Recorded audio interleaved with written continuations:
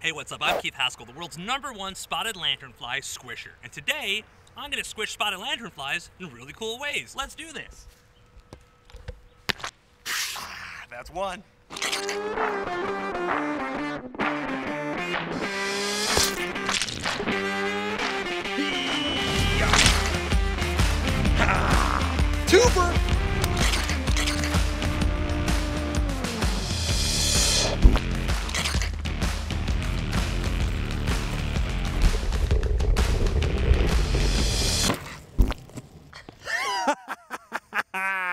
It's important to kill these things because they suck the sap out of trees. Did you just see these little specks of light falling from the sky?